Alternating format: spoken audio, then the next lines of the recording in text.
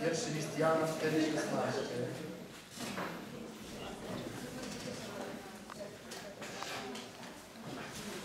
I przeczytamy jego pierwszą część. A myśmy poznali i uwierzyli w miłość, którą Bóg ma do nas. A myśmy poznali i uwierzyli w miłość, którą Bóg ma do nas. I teraz chcę Wam mówić o trzeciej, bardzo ważnej, trzeciej z pięciu takich platform, na których ma być zbudowana nasza wiara. To jest wiara w miłość. A więc mamy wiarę w Słowo, czyli wiarę w koncepcję Bożą. Po drugie, wiarę w osobę, czyli wiarę w imię Jezus. I po trzecie, wiarę w miłość. I tutaj widzimy trzy rzeczy. Po pierwsze, myśmy poznali i uwierzyli w miłość.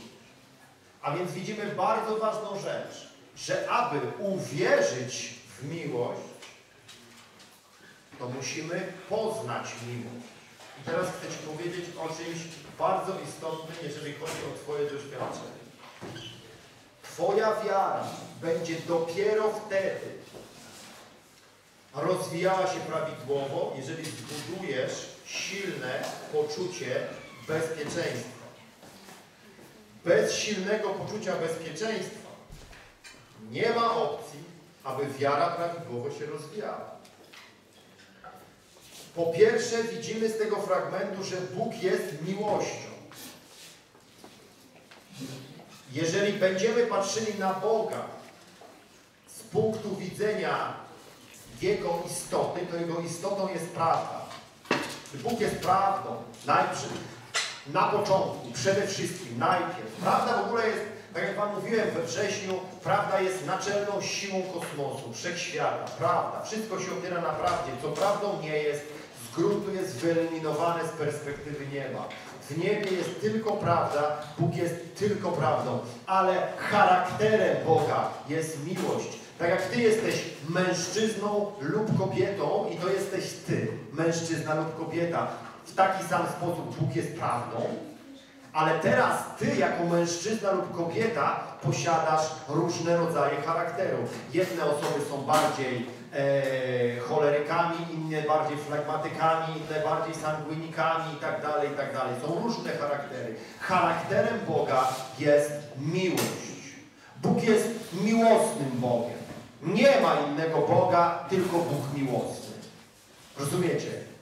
Jest wiara w Boga miłosnego. Ten Bóg jest miłosnym Bogiem. Eee, I kochani, jest napisane, myśmy poznali miłość. Czyli Ty musisz być przekonany, że Bóg jest miłosnym Bogiem. Że to jest Bóg, który Cię kocha. I zobaczcie, myśmy uwierzyli w miłość, ale jaką miłość? Miłość, którą Bóg ma do nas. Czyli co to znaczy wiara w miłość? To znaczy, że my wierzymy, że Bóg nas kocha, nie że my kochamy Boga. Nie skupiamy się na tym, że my kochamy czy nie kochamy, lub że za bardzo, lub że za mało kochamy. W ogóle nie możesz myśleć, jak Ty kochasz. Nie myśl, czy ja dobrze kocham, czy ja, Panie, należycie Cię kocham. W ogóle się przestań modlić w ten sposób, Panie, pobłogosław mi, abym Cię bardziej kochał. A olej to. Zostaw to, bo to będzie uczynkowość. Ty będziesz chodził i Ty będziesz się kręcił wokół pewnej spirali, jak ja bardzo powinienem kochać Boga. Nie. Ty skup się na tym, że Bóg Cię kocha. I ja wiem, że tyle, ile z was, tutaj, was tutaj jest, tyle macie różnych doświadczeń miłosnych. I niektóre te doświadczenia mogą być bardzo nieprzyjemne, bo one naprawdę nie były miłosnymi. Wiele z was ma bardzo złe doświadczenia z dzieciństwa, bardzo złe doświadczenia z małżeństw, z relacji i tak. Tylko, że pamiętajcie, te złe doświadczenia miłosne nie są Bogiem. Musisz zapomnieć, odrzucić. Nie wolno ci wracać do tego. Nie wolno ci mówić, ja nie rozwinę w sobie tego, że Bóg mnie kocha, dlatego że ja nie doświadczyłem w życiu miłości. To jest nieważne, że nie doświadczyłeś w życiu miłości. Ty musisz zacząć budować swoją wiarę w to, że Bóg Cię kocha. Ja wierzę, że Bóg mnie kocha. Ja staję przed lustrem ja się czuję kochany. Ja się nie czuję niekochany. Ja nie potrzebuję, żeby ktoś mnie. Ja w ogóle nie skupiam się na tym, żeby e, odczuć, jak ktoś mnie kocha. Ja się w ogóle nie upominam, żeby ktoś mnie kochał. Się nie upominam o to, bo jestem kochany, bo się czuję kochany. To, że ja się czuję kochany, na przykład przekłada się na moje bardzo wysokie poczucie własnej wartości. Ja się czuję tak bardzo wartościowy. To zakrawa na arogancję w pewnym. To ludzie nazywają pychą. Mówię, jesteś pyszny, jesteś arogancki. A ja mówię, nie, ja siebie kocham. Kocham siebie. Mam bardzo wysoki poziom miłości własnej. W ogóle wiecie o tym, że żeby kogoś kochać, to trzeba siebie kochać. Ty nie będziesz mógł kogoś prawidłowo kochać, jak ty siebie nie kochasz. Ja na przykład słucham, jak ludzie mówią, ja to dla kogoś coś robię, od gardła bym se odjął, jemu dał. Rozumiesz? Ja mówię, ale to jest bzdura, bo jeżeli ty nie jesteś zaspokojony miłośnie, to na pewno nie zaspokoisz nikogo innego miłośnie. Kochaj bliźniego swego jak siebie samego. Rozumiesz? Dlatego ludzie zakompleksieli, ludzie, którzy są, czują się odrzuceni, ludzie, którzy są, czują się poranieni, niedowartościowani, tak naprawdę oni nie kochają prawidłowo. Bo oni cały czas w relacjach z innymi ludźmi do, doszukują się tego, aby ich kochano. Kochaj mnie! Mówią. Oczywiście niewerbalnie to wyznają. Nigdy nie staną, bo są dorośli, więc nie powiedzą, no tak, nie powiem przecież, mam 50 lat, nie powiem, kochaj mnie, bo mi to potrzebne ale całą swoją postacią, całą swoją osobą tak, manifestują potrzebę bycia kochanymi. I mówią, i tyle dla, ja czasami mówię, tyle dla Ciebie zrobiłem, tyle dla Ciebie zrobiłam. Ja mówię, ale weź, o czym Ty ze mną rozmawiasz? Tak mówią ludzie odrzuceni. Tak mówią ludzie odrzuceni, odrzucenie mówi. Tyle dla Ciebie zrobiłem, doceń to. Weź to docenić! Tak mówią rodzice do dzieci, wiesz o co chodzi? Odrzuceni rodzice do swoich dzieci tak mówią. Odrzuceni rodzice. Odrzuceni małżonkowie tak się do siebie odzywają. To wszystko odrzucenie rozumiesz? Ja chcę Ci pokazać, bo wiecie, że musicie w sobie taką rzecz odkryć, jeżeli taka rzecz jest, bo nie będziesz mógł prawidłowo wierzyć. Osoba, która nie czuje się kochana, nie może prawidłowo wierzyć. Musisz się z tym rozprawić. Musisz się z tym, musisz uwierzyć, że Bóg Cię kocha. A to będzie bardzo widoczne w Twoim życiu poprzez to, że zaczniesz odczuwać swoją wartość. Wartość. Rozumiesz? Swoją wartość. List do Rzymian 5, 8, 10. Przeczytamy. List do Rzymian 5, 8-10.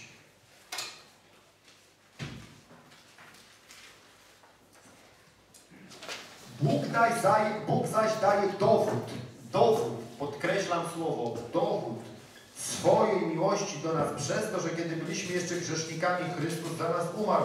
Tym bardziej więc teraz usprawiedliwieni krwią Jego będziemy przez Niego zachowani od gniewu. Jeśli bowiem, będąc nieprzyjaciółmi, zostaliśmy pojednani z Bogiem przez śmierć Syna Jego, tym bardziej będąc pojednani, dostąpimy zbawienia przez życie Jego. Po pierwsze widzimy, że Bóg wciąż daje, to jest akt czynny teraźniejszy, dowód swojej miłości do nas. Czyli Ty dzisiaj masz dowód miłości Boga do Ciebie. Dzisiaj. Ty dzisiaj masz ten dowód. Ty musisz modlić się w ten sposób. Boże, dziękuję Ci, że mam dowód Twojej miłości do mnie. Boże, dziękuję Ci, że Ty mnie kochasz. To musi być Twoje wyznanie, żeby Twoja wiara mogła rosnąć. Ty musisz zacząć ogłaszać te proste prawdy. Boże, dziękuję Ci, że jestem człowiekiem, którego Ty kochasz, że Ty mnie absolutnie pokochałeś. Boże, dziękuję Ci, że czuję się bezpieczny. Boże, dziękuję Ci za moją wartość. Uwielbiam Cię, Boże, że poddajesz mi narody. Ja się tak modlę. Boże, dziękuję Ci, że na jedno moje słowo są mi posłuszni. Uwielbiam Cię, Boże. To są moje modlitwy. To są modlitwy człowieka, który zna poczucie własnej wartości. Rozumiesz? Ja nie potrzebuję drugiego człowieka, który przyjdzie do mnie i mówi Artur, ale super głosisz. Tak jak do mojej żony mówię, do mojej żony, jesteś piękna. Ona mówi, no wiem. Wiesz, że takie rozmowy między nami. W ogóle, no wiem. W ogóle wiesz, nie? I to ani mi nie... I, i, bo, dlaczego? Bo, bo, bo, bo, rozumiecie? My nie komplementujemy się dlatego w domu, że my e, tego potrzebujemy. My komplementujemy się, bo taka jest miłość. To jest tak z tym facetem, który, nie wiem czy wam mówiłem, to pierwszy umarł i poszedł do nieba. Umarł facet, twoja żona no, umarła pierwsza, wierzący ludzie, ona poszła do nieba i po jakimś czasie umiera facet, która go tam wita w niebie, rzuca się na niego, całuje. Cześć, kochany, jesteś, jesteś, nareszcie. Mówi, co, tęskniłeś? Nie, no nie tęskniłam. I dalej tam się na niego rzuca, całuje. Ale tam czekałeś? No nie czekałam, no daj spokój. To czego się tak rzucasz na mnie, całujesz mnie tu w tych bramach w ogóle? A ona mówi, kocham. No ale nie tęskniłaś? No nie, no, no co ty. Że jesteś mi niepotrzebny w ogóle. Ale cię kocham. Rozumiecie, co nam zrobił świat z głowy? Świat nam z głowy zrobił coś takiego, że w miłości potrzebujemy siebie nawzajem. A wiesz, jaka jest prawda? Nie potrzebujemy siebie nawzajem. Kochać kogoś to nie oznacza potrzebować go. Bo Boża miłość, która jest w naszych sercach, zaspokaja nas, zabezpiecza. I trzeba tak się modlić i to wyznawać, a nie szukać, rozumiecie, zaleczenia ranu ludzi. Jak będziesz szukał zaleczenia ranu ludzi, to się poślizgniesz. Poślizgniesz się. To nie tak działa ludzie. Kochać to nie oznacza, że potrzebujesz kogoś. Wiesz, kiedy możesz dawać prawdziwie? Wtedy, kiedy prawdziwie kochasz. Wtedy dajesz. Ale też nie spodziewasz się zwrotu na przykład. I to jest dla Ciebie takie normalne. Ale nie dlatego nie spodziewasz się zwrotu, bo Ty jesteś taki, no wiesz, ja Cię kocham i teraz ja to dla Ciebie robię. Nie. Ty się nie spodziewasz zwrotu, bo Ty masz. Wiecie w ogóle, kogo nie dotyka to, że, że zostanie okradziony? Milionera. Jak milionerowi, tak? Zginie 2 czy 3 tysiące złotych, to nawet nie wie. Rozumiesz? No bo nie wie, no co to jest 2000 złotych, proszę Ciebie. Tak? To jest nic dla niego. On jest milionerem. Milionerem. Przecież to tak fajnie widać. Jak jedziemy teraz trasą, kupiliśmy sobie samochód. Kupiliśmy samochód, cieszymy się, bo to taki na, najlepszy, na kiedy jesteśmy nawróceni, najlepszy nasz samochód, w ogóle super, wszystko, wiecie, no taki jak chcieliśmy. jedziemy sobie tym samochodem, nowy samochód, taki wiesz, i mijamy w ogóle, Agata mówi, zobacz, jak jest, na autostradą jedziemy, nie? I tak zasuwamy sobie w miarę szybko, ale tak przejeżdżamy i mówię, Agata mówi, zobacz, jaki samochód w prawo. Spojrzałem w prawo i facet sobie pomyka ze 100 na godzinę, nie szybciej, Rolls Royce, nie? Uświadomiłem sobie, że nasz samochód wart jest tyle, co koła w tamtym. Tak sobie wolę przyjechać. Bo ja znam ceny tych samochodów. Że mniej więcej kosztował 500 tysięcy. Ten samochód, którym ten facet jeździ, jakieś pół miliona mniej więcej. Tak sobie, no koła by sobie kupił z felkami. Dwa komplety. za, ten, za ten mój samochód. to mogę więcej, więcej 10% wart, jak dodam 15 może. Widzisz, kiedy ty masz, kiedy ty masz coś, to ty nie potrzebujesz, żeby ktoś ci dał. Dlatego możesz dawać na prawo i lewo. Dlatego ludzie, którzy czują się kochani, mogą kochać na prawo i lewo. Walą tą miłością i życie swoje kładą. Wiesz, kiedy życie w ogóle możesz położyć? Wtedy, kiedy czujesz się bezpieczny. Żaden człowiek, który nie czuje się bezpieczny, na pewno nie będzie prawidłowo kładł swojego życia, tylko w deficytach najwyżej. W deficytach to żaden problem położyć życie, żeby komuś coś udowodnić, będę męczennikiem teraz. Wiesz o co chodzi? Nie. Co to mnie to robię? To zakompleksieni ludzie w ogóle, nie to? Musisz wierzyć w miłość. Musisz rozwinąć to, że Bóg kocha Ciebie. Myśl o tym. W ogóle zacznij rozpatrywać swoją wartość w swojej głowie. Połóż się dzisiaj na łóżku i zamiast myśleć o czymś takim, co do tej pory myślałeś, to powiedz, Boże, dziękuję Ci, że mam taką wielką wartość. Popatrz na swojego dużego palca u nogi, powiedz w ogóle dziękuję za tego palca, ale mam palec. Halleluja. Kocham Cię, Panie, za ten palec. Kocham ten palec. Zwróć się czule do tego palca, nadaj mu imię, ja nie wiem, na przykład jakoś go tam nazwij. Namaluj sobie na nim grzywkę, oczki, pomachaj, zacznij się śmiać, bo to jest Twój palec, który stworzył Bóg i za który umarł Jezus. Wierzysz, że Jezus umarł za Twój palec od nogi? Teraz znajdź, znajdź w tym wszystkim wartość swoją. Zacznij się nazywać w określony sposób. Nazywaj się szczęśliwym, nazywaj się wartościowym, nazywaj się skarbem Boga. Przestań chodzić załamany jak dach sołtysa, rozumiesz, z głową w ziemi. I mówiąc, ja wierzę. W co ty wierzysz? Człowiek wiary to człowiek, który zna swoją wartość. Mnie nie można Cię zawstydzić. Mnie nie można przygadać. Mnie nie można wprowadzić w zakłopotanie. Mnie kupa ludzi chce wprowadzić w zakłopotanie. Ja mówię, chodź. Wprowadź mnie w zakłopotanie. Ludzie się pieją i gotują. A ja siedzę i ciśnienie skacze. Wiecie dlaczego? Bo ja znam swoją wartość. Ludzie przychodzą, błądzisz. Mówi, powinieneś to. Ja mówię, ale proszę Cię. Przecież z nas dwóch. Tak? Ja jestem spokojny. Tak? Ciśnienie 120 na 80. A Ty, który przekonujesz mnie, że jestem w grzechu, tak? Cały się trzęsiesz, cały latasz kurcze jak osika. Rozumiesz? I Ty mówisz do mnie, że to ja mam problem? Bo człowieku, nie masz odpowiedzi na każde pytanie, a mam właśnie. A właśnie mam, bo jestem mądry, twórczy, kreatywny. Bo Bóg mnie kocha. Jestem tego pewny, jak to, że dwa razy dwa jest cztery. Dlatego ja mogę żyć zwycięskim życiem. Rozumiesz? Bo mnie nie dotyczą odczucia piekła. Diabeł przychodzi daje mi odczucia różne. Ale ponieważ ja wierzę w miłość, którą Bóg ma do mnie,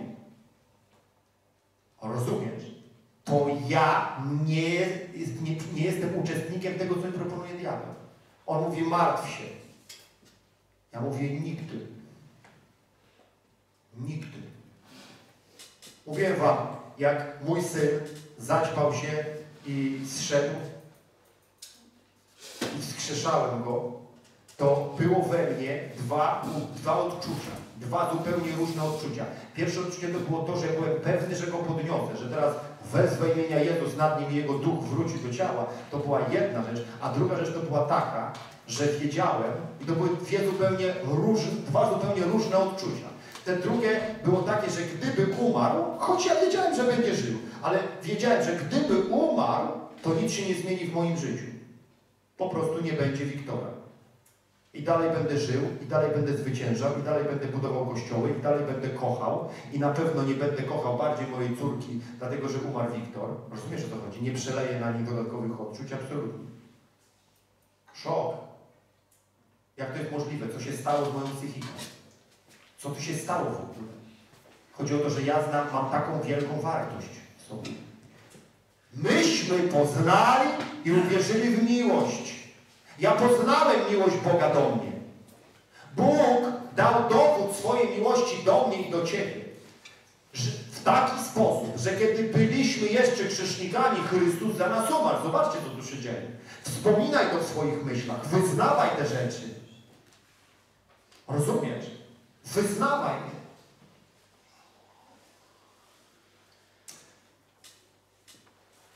Musisz całą swoją głowę przepełnić informacją, że Bóg się na Ciebie nie gniewa. Musisz całą swoją głowę przepełnić informacją, że Bóg nie ma o Tobie złych myśli. Że Bóg ma cały czas o Tobie dobre myśli, nawet kiedy leżysz w, w błocie swojego grzechu. Musisz zrozumieć tą rzecz z tego listu do Rzymian 5, 8, 10. Musisz sobie to wbić do głowy, że nieważne jak Ty się czujesz, ważne co myśli o Tobie Bóg. Diabeł mówi, czuj się źle. A list do Rzymian mówi, że Bóg dał dowód swojej miłości do Ciebie przez to, że kiedy byłeś jeszcze grzesznikiem, Chrystus za Ciebie umarł. I teraz nie będziesz sądzony i teraz będziesz żył zwycięskim życiem poprzez Jego życie. No i co? I takie, takie, ta, takie, takie co? I Ty grzeszysz i diabeł mówi, znowu zgrzeszyłeś łobuzie, tak? A Bóg nie widzi tego grzechu. No i co? On nie widzi tego grzechu. On nie widzi tego. A rozumiesz, na czym budujemy naszą wiarę, na czym ją opieramy? Że Bóg nas kocha. Bóg nas kocha. On nas nie kocha teoretycznie, On nas kocha praktycznie. On nas kocha praktycznie. Popełniłbyś samobójstwo, pójdziesz do nieba. Jedyną rzeczą, którą Bóg się Ciebie by zapytał, to Ty byś zapytał, tak wcześnie. Panie, żyły sobie pod ciałem, bo depresję miał. A kto Ci kazał mieć depresję? Lucek, Panie. No wiesz, słuchałeś ludzka, podciąłeś żywy, żywy sieć teraz. Panie, koronę dostanę? Nie, no korony nie dostanie, bo mówię Ci tutaj samobójcy nie dostają korony. Samobójcy dostają miotły, mają zmiatać tutaj, żeby pył złoty leciał na ziemię. Zamiatają Nowy Jeruzalem, żeby pył leciał. On by Cię nie zganił, że sobie żyły podciąłeś. On by po prostu Ci nie dał korony, będzie to tak wcześniej, po coś tu w ogóle przyszedł dzieciaki. No raka miałem, no. No na raka, na raka miałeś. Zobaczcie, rozumiesz, człowiek umiera na raka, idzie do nieba, wierzący człowiek. I Jezus go zapyta, co, co, tu, co tu robisz? No jestem, no jestem. Ale przecież 120 lat miałeś tam. Zasuwać, żyć, budować, szerzyć. Ale raka, rak. Rak się przyjawia. A czemu ty tam? A, a, a to czemu umarłeś na tego raka? Posłuchaj, taka rozmowa. Czemu na raka? No tak dostałem, panie, tak się rozwinął i umarłem. Nie no, nie żartuj. Zapomniałeś, że ja się rozchorowałem rakiem 2000 lat temu tam pod Jeruzalemem? Tam? Nie pamiętasz, że miałem raka? Panie, ale trzustki, no trzustki, trzustki, trzustki właśnie. Miałem raka trzustki. Tam na krzyżu Golgoty miałem raka trzustki. No panie, ale to, no bo ja myślę, że to jest mój, jak prywatny, osobisty, tak się zgodziłem z tym, że mnie zeżre od środka. Jezus mówi, no niepotrzebnie, bo już kiedyś mnie. Ja chcę wam pokazać, jakie, jak wygląda prawda. Co diabeł nam włożył do bani. Jakie nam wgrał programy. Jakie nam wgrał programy. Bóg w ogóle, on się, on się nie orientuje na takie rzeczy. Rozumiesz? On cię kocha w ogóle, on cię kocha. On ci dał taki materiał, rozumiesz, się w głowie nie mieści. To jest taki materiał zwycięstwa. Taki materiał. Jak ja byłem w Legii Cudzoziemskiej, nas szkolili. Jest tam po dwóch latach szkolenia. Ty jesteś gotów, żeby założyć Ci spadochron, zrzucić Cię na, ten, na terenie Gujany Francuskiej z bagnetem, rozumiesz, i karabinem na plecach i Ty tam zrobisz rewolucję. Jesteś tak wyposażony przez te dwa lata. W Chrystusie Jezusie Bóg nas tak wyposażył do życia, że się nie mieści w głowie. Do wszystkiego. Rozumiecie, na czym to polega? Bo to jest miłość, to jest wiara w miłość. Ty musisz zrozumieć, że On Cię tak pokochał, że On Ci dał wszystko, co jest Ci potrzebne, aby zwyciężać każdego dnia. I Ty nie możesz powiedzieć, bo ja się tak czuję, bo ja tak dzisiaj mam. Masz tak, bo tak chcesz mieć. Masz raka, bo chcesz mieć raka. Nie, nie chcę mieć raka. To krótki Ja nie chcę, żeby mi się małżeństwo rozpadało. To jest całe. Ja nie chcę, ja tak nie chcę. To zrób jak trzeba. Dlaczego? Bo masz narzędzie. Bo tak Cię pokochałem. Bo jestem z Tobą, bo Cię akceptuję. Bo nic do Ciebie złego nie ma. Bo nie mam o Tobie złego zdania. Twoja wiara musi być umocowana w Bożej miłości do Ciebie. Boża miłość. Ja wierzę w miłość. Ja uwierzyłem w miłość, którą Bóg ma do mnie. Ja głupi w to uwierzyłem. Stoję przed lustrem i się pindrzę, człowieku, i mówię, o, jestem wartościowy. Ale ja ważny jestem. Ale jak ktoś jestem. Ale moje życie ma sens. Halleluja. Rozumiecie? Wiecie, co tym idzie? Ja się cieszę ze wszystkiego. Ja się w ogóle cieszę. Jak jest zimno, cieszę się, że zimno. Jest ciepło, cieszę się, że ciepło. Chodzę, człowiek jak taki, taki, tuman kurzu. Że chodzę i się cieszę ze wszystkiego. Rozumiesz? Każda rzecz w ogóle jestem w stanie w niej coś znaleźć. Śmieję się jak głupi z różnych rzeczy. Rozumiesz? Nie dotyczą mnie różne sprawy. Ja pamiętam, wiecie, wiecie, jak to, wiecie jak to w służbie wygląda później? Pamiętam jak y, u nas w pierwszym kościele przyszedł chłopak do kościoła, co miał AIDS i on mówi, że on ma AIDS. Ja mówię, ale, ja, ale, ale, mówię, to, ale chcesz, a, a chcesz nie mieć AIDS? Taka moja rozmowa. On mówi, jak to nie mieć AIDS? Świeże nawrócony, nie tak. Ja mówię, no w przyszłym tygodniu się pomodlimy. To w przyszłym tygodniu. Ja mówię, dopiero to była... Mówię, na, na przyszłą środę się o Ciebie pomodlimy i mówię, i zniknie Ci. Chcesz? On się na popatrzył. Bo wiesz, on przyszedł on załamany, bo on już miał mięsaki kapuziego, miał żółtaczkę, wiesz o co chodzi, wyschnięty, miał te na, na gardle pleśniawki, wiesz, w takim już był stanie konkretnym, nie? Po to w ośrodku dla bezdomnych. AIDS. A my to co?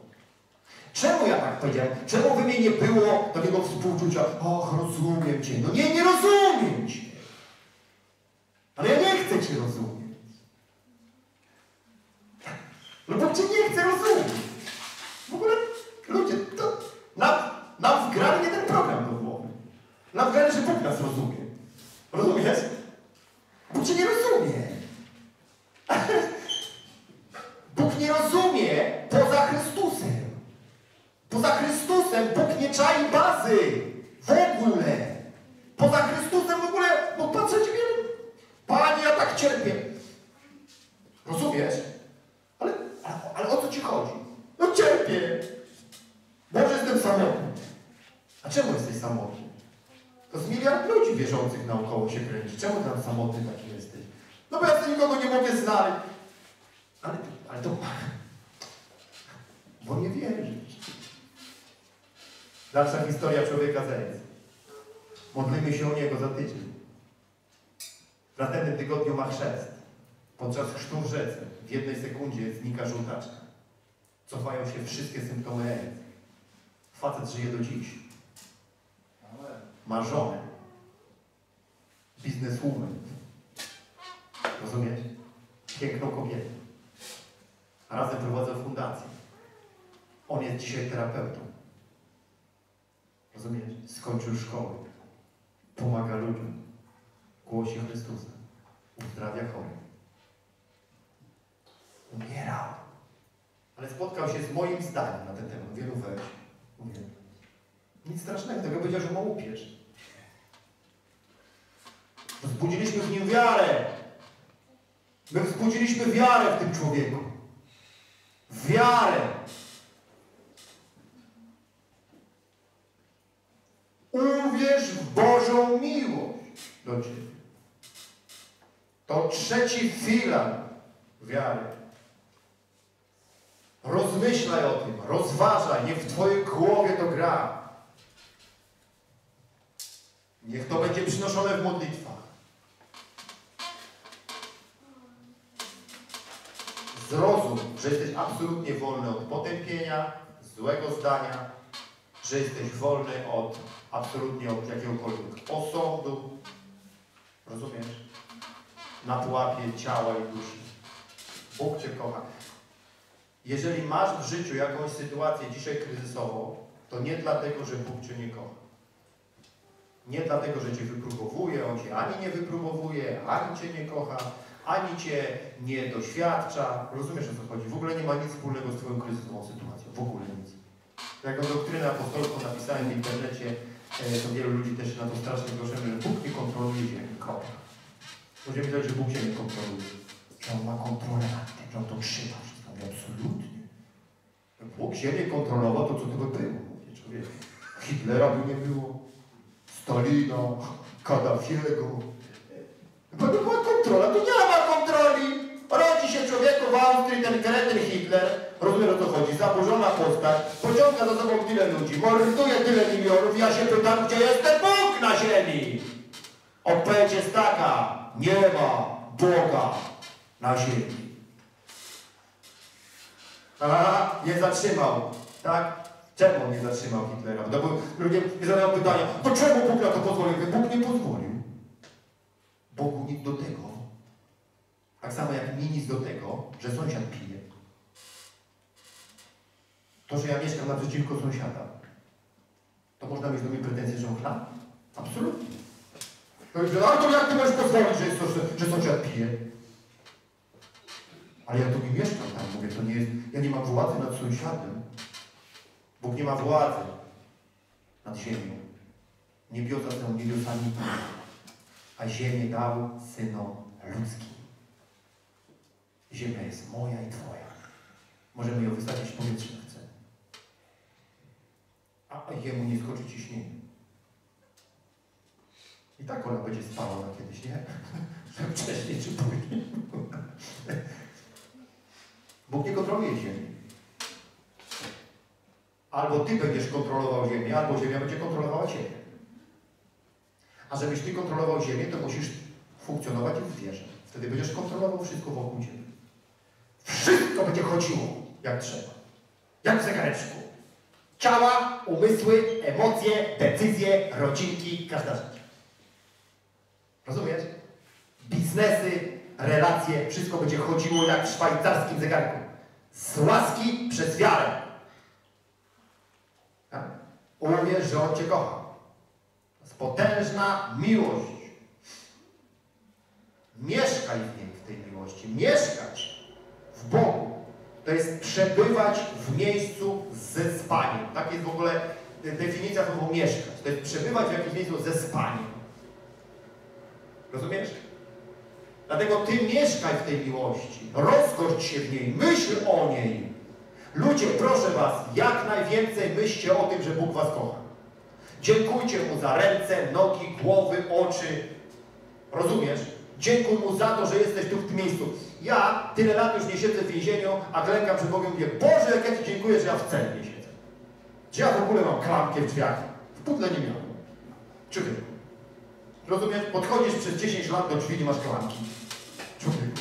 Musisz nacisnąć na dzwonek, poczekać 30 minut, a raczej ktoś przyjdzie do Ciebie, tak? I to też wsadzi nos do środka, ja to słucham. Rozumiesz? A to mam klamkę. Mogę sobie okno otworzyć. Zrozumcie. Bądźmy ludźmi, którzy dostrzegą miłość Boga do naszego życia. I przestańmy mówić, jak jest nam ciężko i jak wiele jeszcze potrzebujemy. Wierzmy w Bożą miłość do nas. I czwarta rzecz, o której chcę powiedzieć na tej sesji, to przyjaciele, rzecz zapisana w Kolosan 2.12. Kolosan 2.12. List do Kolosan 2.12.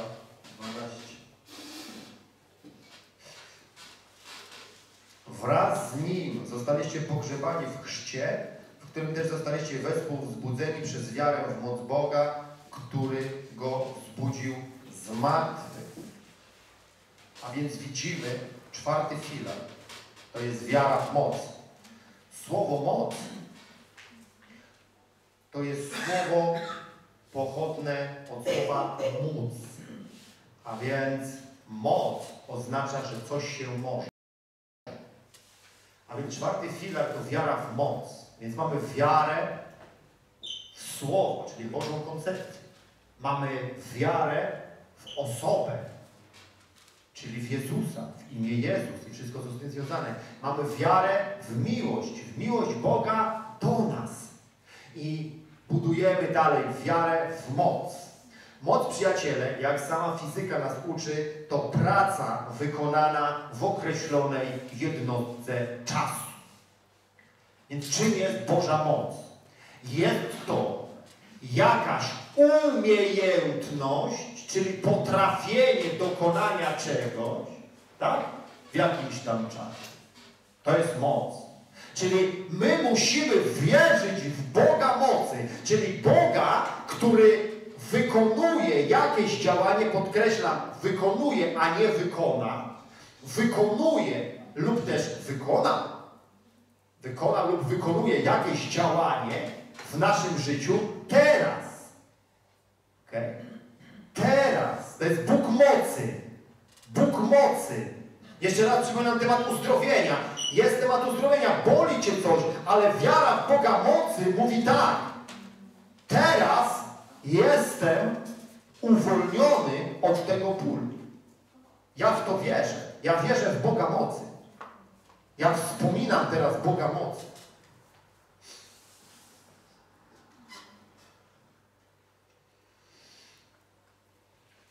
Księga Izajasza 40:10 pokazuje nam, że Bóg jest wszechmocny. Musisz wierzyć w Boga wszechmocnego. Wszechmocny Bóg. Czyli Bóg wszelkiej możliwości. Czyli nie istnieje taka sytuacja w Twoim życiu, tak, do której Bóg byłby niezdatny. Czy, czy też nie zająłby się tą dziedziną. A więc jeżeli ja wierzę o coś, to mogę wierzyć o cokolwiek. O cokolwiek. O cokolwiek. Ja wierzę w takiego Boga mocy, że nawet Pepsi w kole zmieni. Przez wiarę. Postawię Pepsi, bo ja chciałem się napić coli, tak? To będę teraz mówił do tej puszki, tak? I napiję się coli. W ogóle ja chcę Wam pokazać bardzo ważną rzecz. Bóg jest Bogiem wszechmocnym. Nie ma rzeczy małych i dużych. Ludzie na przykład wierzą o rzecz większą, ale o mniejszą już nie wierzą. Myślą, że mniejszą muszą zrobić w sposób naturalny. Takich gdzieś tam nauczono. Mówi, większą to tak, no to Bóg jest od rzeczy wielkich, a malutkie to ty sobie musisz sam dać radę. No nie musisz sobie sam dać rady w niczym, w niczym. Bóg tak samo chętnie podchodzi do Twojej wiary, jeżeli chodzi o raka, jak chodzi, jeżeli chodzi o upić. Wiara to wiara. Ty w ogóle wiesz, że wszystko możesz sobie wywierzyć. Każda rzecz. Jeżeli tylko koncepcję znajdziesz do tego, Bożo, nie? To w ogóle wywierzysz wszystko. Wszystko. Wszystko. Ludzie. W ogóle nie ma czegoś takiego, że istnieje jakaś dziedzina, bo, w której On nie będzie działał, ponieważ to jest Bóg wszechmocy. Wszelkiej mocy, wszelkich możliwości. Tak mówi Izajasz 40:10. Dalej Izajasz mówi, że On przychodzi w mocy. Czyli kiedy ja się modlę do Boga, to On się objawia jako Bóg mocy. Jak ja się modlę do Boga, to ja się nie modlę do Boga może, być może, czy na pewno, tylko ja się modlę do Boga mocy. Jesteś Bogiem mocy. Ja wierzę w Ciebie jako Boga mocy. Ja wierzę w Ciebie jako Boga mocy. Wierzę w Ciebie jako Boga mocy. Pewien facet, to jest udokumentowany fakt, wierzył w takiego Boga mocy. I dostał od Boga słowo, że będzie usługiwał w Chinach. Tam rozpocznie służbę swoją. Ale przez cały czas nie miał na to pieniędzy. I on trwał w wierze. I któregoś dnia odebrał słowo od Boga, żeby się spakował i pojechał na lotnisko w Stanach Zjednoczonych w Nowym Jorku. I on pojechał na to lotnisko, nie mając bladego pojęcia, gdzie on ma lecieć. Znaczy on wiedział, że do Chin, ale nie wiedział, jak to ma zrobić. Nie miał biletów.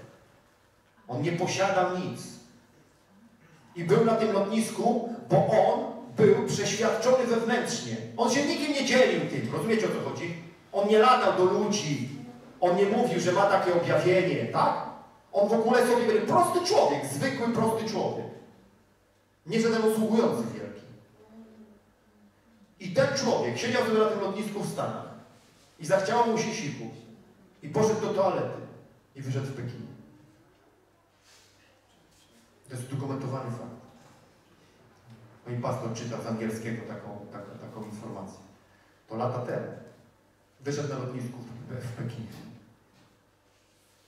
Chcę wam pokazać, rozumiesz, prosty człowiek, bo to, wiecie, my, my znamy świadectwa wielkich usługujących, potężne działania różne, ale ja zauważyłem właśnie, ja nawiązuję jeszcze raz do tego, co powiedziałem, ja w ogóle zaczynam coraz więcej dostrzegać potężnych działań Bożych wśród prostych, zwykłych ludzi. Rozumiecie? Niesamowite to jest w ogóle dla mnie. Do, do, jakby, jakby zaczynam dotykać te, tej sfery w ogóle rzeczy. On wierzył. On wierzył w Boga mocy. I to jest Bóg, który przychodzi w mocy. Czyli jeżeli ja wierzę w Boga, ja wierzę w coś, tak? Rozumiesz? Ja wierzę w coś, to ja wierzę w tego Boga, który na pewno tą rzecz będzie mógł zrobić. To może to zrobić. Albo On już ją zrobił, albo On ją ro- robi teraz. To jest cały czas powiązane. Ja na przykład wierzę, że Jezus już to dla mnie zrobił, albo robi to dla mnie teraz. To jest nieważne, czy On już to zrobił, czy robi dla mnie teraz. Ważne, że to się tak objawia. To to musi tak być. To musi. Ja zawsze mówię, Ty jesteś Bogiem. Uwierzyłem w Ciebie. Nie wycofam się z tego nigdy. Nigdy. Nigdy. Ja pamiętam, jak się rozchorowałem lata temu i to było takie coś, że ja trafi, traciłem oddech. Kiedy straciłem oddech pierwszy raz, bieg, w nocy się po prostu nie mogłem oddychać. Wstałem, pobiegłem do żony, ona kładła na mnie ręce, kiedy Sara była malutka. Agata spała z Sarą, ja w drugim pomieszczeniu w ogóle.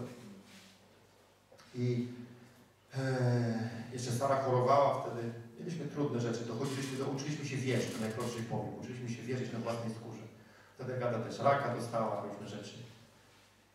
Ja się dusiłem i pamiętam, jak się teraz się dusiłem, potem drugi raz i strasznie się tego wystraszyłem w ogóle, ale, ale zacząłem w ogóle, wtedy pamiętam, bardzo silnie budowałem moją wiarę. Już pierwszy kościół mieliśmy założony. I taka myśl do mnie przyszła w ogóle, że to jest w ogóle nieważne, że ja tak czuję. I wiecie, kiedy po raz trzeci mnie złapał ten bezdech i nie mogłem oddychać, też się w nocy to stało, usiadłem, wiesz, nie mogłem oddychać. Ale wiecie, co zauważyłem? Że już, nie, że już w ogóle nie mam takiego pędu, że do żony biegnę, żeby się modliła. Siedziałem i taka myśl mi przyszła. Nawet jeśli umrę. I to była myśl skierowana do przeciwnika, nie do Boga. To w ogóle i tak to nie zmieni tego, że wierzę, że On mnie uzdrowi. I siedziałem i nie oddychałem. Nie wiem ile. 30 sekund, 40 minut, to trudno powiedzieć. E, e, Dla mnie to była wieczność w tym, w tym czasie. Okej? To, to, to wieczność była. Bo to nie jest to, że ci się siku i leżysz północy i nie wstajesz. Rozumiesz? Tylko to jest kwestia w ogóle tego, że po prostu nie oddychasz, nie? I wrócił oddech. I to zdarzenie jeszcze miało dwa razy. Zdarzyło mi się. Kiedy szedłem do pracy, chyba dwa razy drodze do pracy.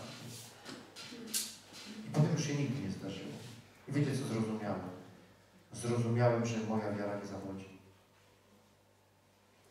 Nigdy. Nigdy nie zawiedzie mnie moja wiara. Wierzę w Boga mocy.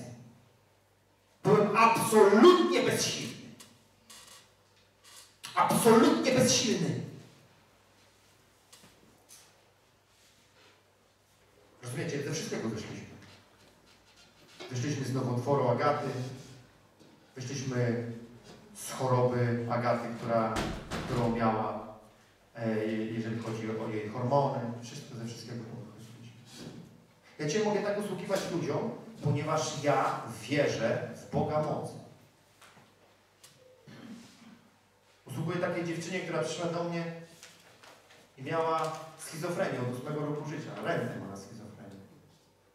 Urodziła się z rozszczepem mózgu.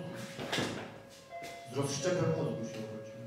Miała pękniętą bargę, miała zniszczony mózg i potem się rozwinęło schizofrenię. Wiele lat, takie jak to ze szpitali psychiatrycznych. I ona zaczęła do mnie przychodzić na spotkania. I powiedziałem jej o Bogu mocy. Mówię, wierzę w Boga mocy. Pomogę. Wiem, jak to zrobić. I Duch Święty powiedział, że będziemy na nią kłaść ręce na każdym spotkaniu i będą jej odrastać te części mózgu, które zostały zniszczone lub się nie wybudowały. I tak się zaczęło dziać. Zaczął jej odrastać mózg i odrastać mózg. Dziewczyna na naszych oczach wychodzi ze schizofrenii klinicznej. Wychodzi z jakichkolwiek tabletek, przestaje jej brać, wraca u niej wszystko do normy, krok po kroku, miesiąc po miesiącu. Rozumiecie? Wierzymy w Boga moc. Kiedyś na przykład nastąpiła na nabożeństwie taka sytuacja, ona upadła pod Bożą mocą i Duch Święty mi kazał jej nadepnąć na głowę. Nadepnąłem jej na głowę, tak? Zaczęła się bardzo silna manifestacja w ogóle odrastania części mózgu.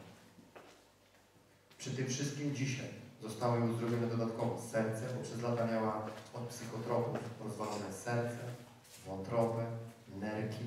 Wszystko jej zaczęło wracać. Wszystko. Chodzi, wie, wiecie o co chodzi? To jest wiara, ale to, nie, to jest wiara Boga mocy. Zobaczcie, to jest umiejętność jakaś rozłożona w czasie. No to w czasie widzimy. To się w czasie dzieje. To jest praca w czasie. To jest moc, pamiętaj. Praca wykonywana w czasie. To nie to, że my wierzymy w akt mocy, tylko w Boga mocy. Ty musisz wierzyć w Boga mocy. Bóg musi Ci się kojarzyć z Bogiem mocy. W ogóle nie ma dla Ciebie innego Boga. Nie ma dla Ciebie jakiejś popierdółki. Rozumiesz? To w ogóle jest Bóg mocy. Kiedykolwiek Ci przyjdzie do głowy, Bóg to jest Bóg mocy. Potężny Bóg mocy, który posiada umiejętności, tak, do załatwienia każdej sytuacji. Musisz wierzyć w to. Wierzyć, wierzyć. Wierzyć to znaczy nie poddawać tego w wątpliwość. Nie rozmawiać inaczej niż wiara Twoja mówi. Rozumiesz? Kiedyś na jedno spotkanie spytał Ecclesworda przed facet, co nie miał części krtani i miał rurkę. Miał tutaj ta rurka, dotąd była ta rurka. I Smith do niego się modlił. I nic się nie wydarzyło. I on poszedł do domu. Ale on wierzył w Boga moc. On mógł przyjmować tylko płynne jedzenie. I to było przed wojną. Bo to nie było wiecie teraz, to są rzeczy sprzed wojny, tak? I on przyszedł do domu i mówi do mamy tak. Mamo, młody chłopak, mówi, ugotuj mi ziemniaków. A matka mówi, ty nie możesz jeść ziemniaków. Masz rurki.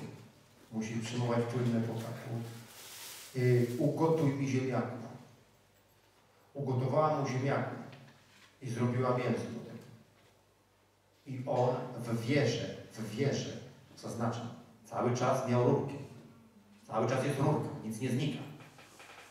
Usiadł do obiadu i zaczął wkładać sobie ziemniaki do buzi. On nie mógł tego przełknąć, rozumiecie, o czym ja mówię? I to mu wypadało na początku. I to mu wypadało. On wkładał. On wkładał. I zaczęło mu to pracować. Pod koniec obiadu miał krtanie.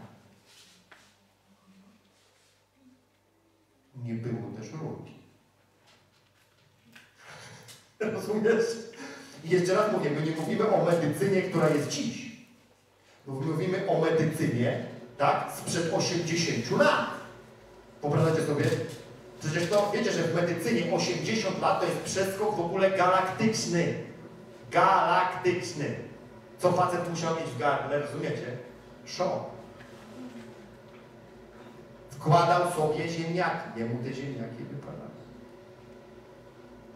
Wierzył w Boga mocy. Moja żona, kiedy miała guz w piersi, jeździła na usługi, miała spuchniętą pierś, miała 38,5 temperaturę. Na pierś sobie kładła kawałki liści z kapusty do biustonosza i modliła się o chorych. A oni byli uzdrawiani. A ona sama przez 8 miesięcy uczyła się wierzyć o swoją pierś. Kiedy uruchomiła wiarę Boga mocy, zniknął jej głód. Rozumiecie? Z piersi jej ciekło, zniknął jej głód. Moja matka, 49 rocznik, babeczka, główna księgowa. Wiecie, co to znaczy główna księgowa jeszcze z tamtych czasów? Ona komputera do tej pory nie używa. Pracuje w potężnej firmie. Dają jej duże pieniądze, a ona nie używa komputera. Człowieku. Maszyna do liczenia. Maszyna. Człowiek tak w ogóle skoncentrowany, w ogóle, rozumiesz, matematyk w ogóle, ja nie wiem ilu lat, ile ona ma lat tej praktyki, trudno mi powiedzieć. Nawraca się do Boga, zostaje wypełniona Duchem Świętym, po jakimś czasie rozchorowuje się na tarczycę. Po jakimś czasie przyjmuje uzdrowienie.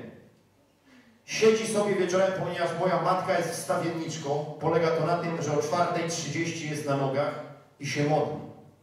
Dzień w dzień. I podczas tej modlitwy Duch Święty jej pyta tak. Basiu, wierzysz, że jesteś zdrowa? Tak, Panie, wierzę.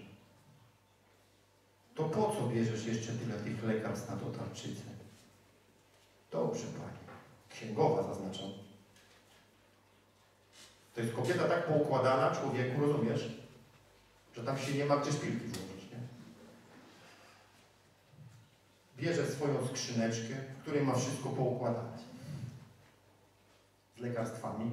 Wyciąga lekarstwa, wyrzuca do śmieci i bierze kartkę i pisze na niej tak. Diable, kropka. Już nigdy więcej mnie nie oszukasz, kropka. Jestem uzdrowiona, ponieważ Jezus Chrystus rozchorował się moją tarczycą na krzyżu Golgoty, kropka. Już nigdy mnie nie oszukasz, Basia Piotrowska. List napisała do Lucyfera. Wsadziła do skrzyneczki, gdzie były lekarstwa. Postawiła.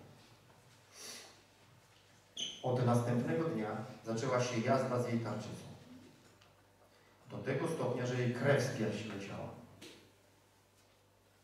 Sutku.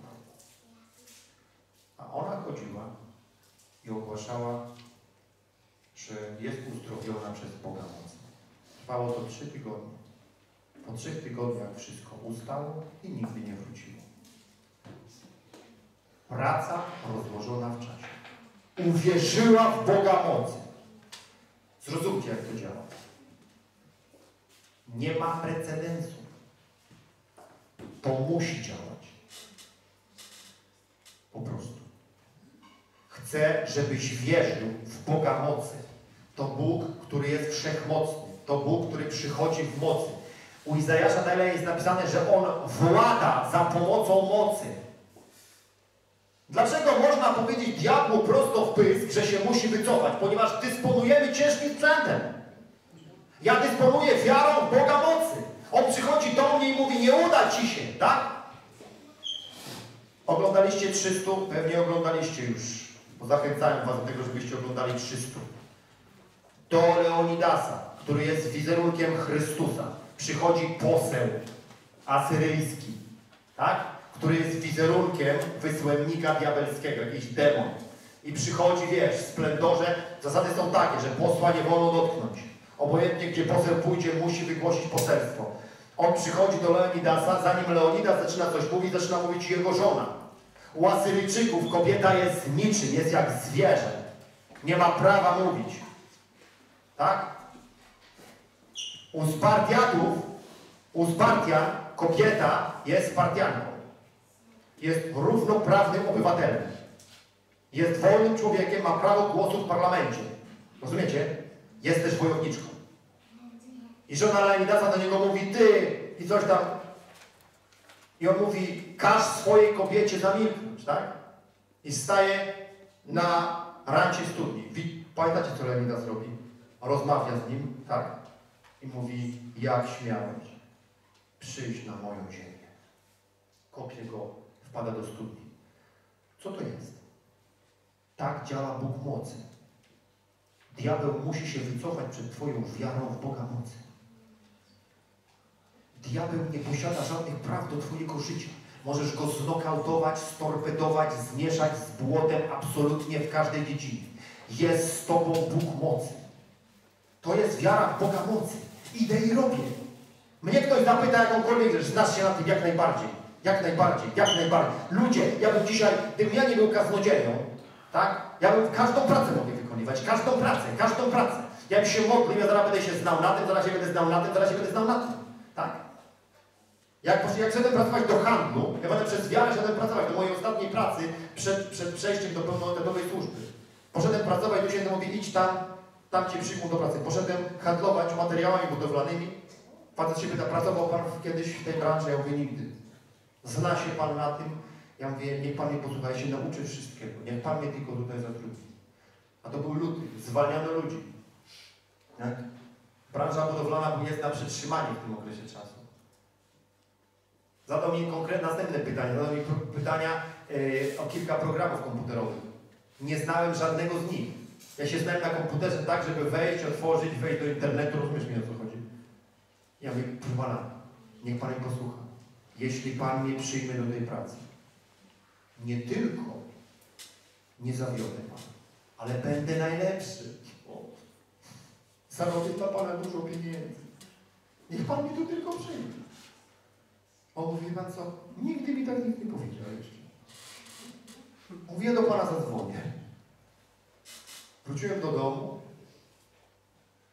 i Duch Święty mi powiedział, mówi, teraz poślij jego aniołów, moich aniołów, przyszedł do niego do domu.